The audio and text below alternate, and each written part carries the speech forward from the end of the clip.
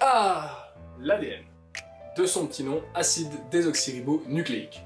Tu connais, non Tous les êtres vivants, toi, moi, les animaux, les plantes, on est tous composés de cellules. Et dans ces cellules, on va retrouver un noyau. Dans ce noyau, on va retrouver les chromosomes, et ces chromosomes sont formés d'une très très longue molécule d'ADN. Quand on parle d'ADN, on a souvent en tête une image, très juste d'ailleurs, d'une structure en double hélice. Cette structure en double hélice a été découverte en 1953 par le duo scientifique Watson et Crick, qui ont d'ailleurs reçu un prix Nobel 9 ans plus tard. Mais bon, tu t'es jamais demandé si c'était possible de voir cet ADN, de le visualiser Comment les scientifiques faisaient pour travailler avec? Alors voilà, bienvenue sur Pratico Théorique. Aujourd'hui, je vais te montrer une expérience facile pour pouvoir visualiser l'ADN. Tu pourras la reproduire chez toi sans aucun problème. Au niveau des produits de cette expérience, tu vas avoir besoin d'alcool à brûler, d'un peu de savon liquide, du sel, d'une banane et de 50 ml d'eau.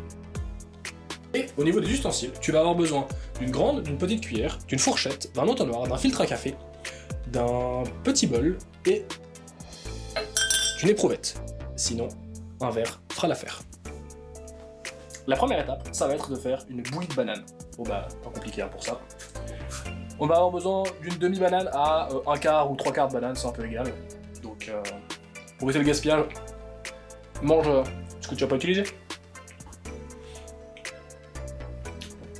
Tu peux prendre sans autre la banane, tu la mets dans ton petit bol.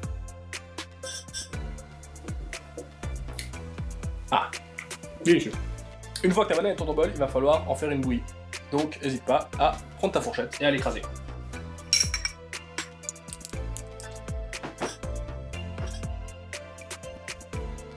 Ensuite, ajoute une cuillère à café de sel dans ton mélange. Tu continues à touiller. Le sel qu'on ajoute va permettre d'une part de déshydrater les cellules de banane et d'autre part de neutraliser les charges négatives contenues sur certaines molécules à proximité de l'ADN. Ensuite, ajoute une cuillère à soupe de liquide vaisselle dans ton mélange. Le détergent contenu dans le savon va permettre de liser et donc de détruire les membranes cellulaires. Ainsi, l'ADN va être libéré. Le détergent va également permettre de débarrasser une partie des protéines liées à l'ADN. Comme ça, on aura une extraction plus facile et plus efficace. Une fois que tu as une pâte bien pâteuse comme ça, ajoute tes 50 ml d'eau. Continue à remuer. L'eau va permettre, entre guillemets, de faire nager l'ADN dedans. Ainsi, on va pouvoir le récolter en filtrant. Avec ton entonnoir et ton filtre à café, dispose-les comme suit, et tu n'auras plus qu'à filtrer ton mélange dans ton éprouvette ou dans ton verre. Tu n'as plus qu'à attendre que tout le liquide soit filtré. L'ADN, bien qu'étant une grosse molécule, va passer au travers des pores du filtre à café. Mais les grosses impuretés, telles que les restes de banane, eux, ne passeront pas.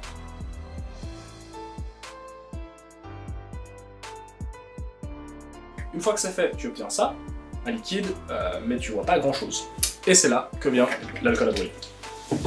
L'idée, ça va être de mettre un à deux volumes d'alcool à brûler là-dedans, sans mélanger, juste en retournant légèrement. Ainsi, l'ADN va flotter dedans, on aura ce qu'on appelle une pelote d'ADN et elle sera visible. Je te montre. Donc t'en mets vraiment genre de sorte à que ça ne se mélange pas, mais ça assez doucement. L'alcool va flotter au-dessus de l'eau. Voilà. Et au milieu se crée une petite phase. Tu peux essayer de jouer avec un peu, histoire que l'ADN ressorte plus. Et voilà, on a extrait de l'ADN et on peut voir une pelote blanche.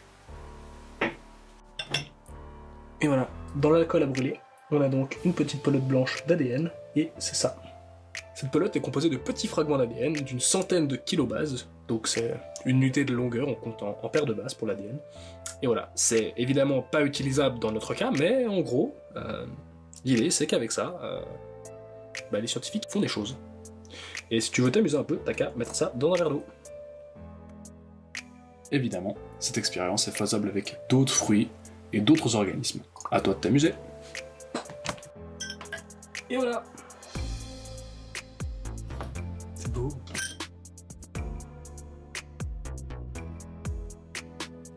Voilà, on arrive à la fin de cette vidéo. J'espère que ça t'a plu. J'espère que tu en trouveras suffisamment fun pour le reproduire chez toi. Tu vois, c'est facile, pas si compliqué et plutôt drôle. Et à la prochaine pour une future vidéo. Et n'hésite pas à mettre un commentaire, liker, t'abonner. C'est toujours cool.